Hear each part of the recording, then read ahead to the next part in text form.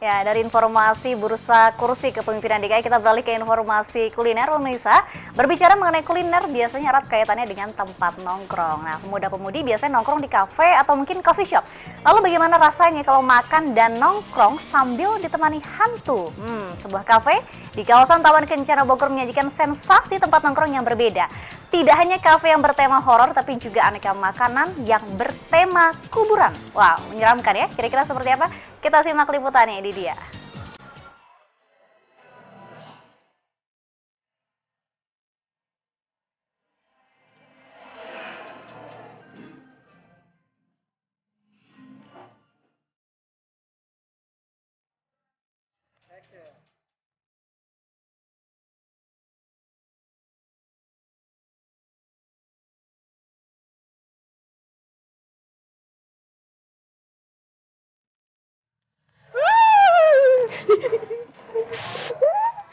Mbak, Ya, selamat datang di resto kami Dead by Coklat dan Spaghetti.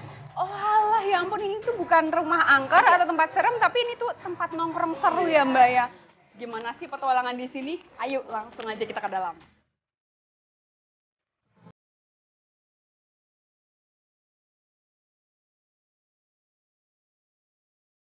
Dekorasi serba hitam, hantu di mana-mana, bener-bener bikin bulu kuduk merinding.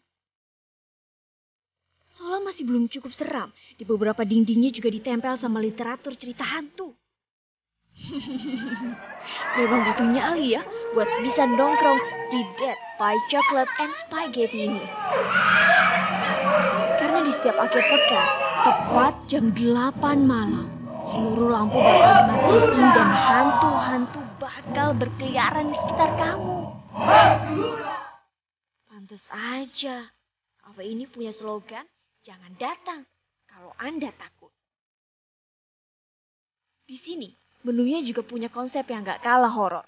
Kayak Dead by Chocolate dengan bentuk kuburan, pancake dengan wajah setan, sampai puding bola mata setan. Buat kamu yang mau boleh-oleh, di sini juga ada biskuit dengan berbagai bentuk setan.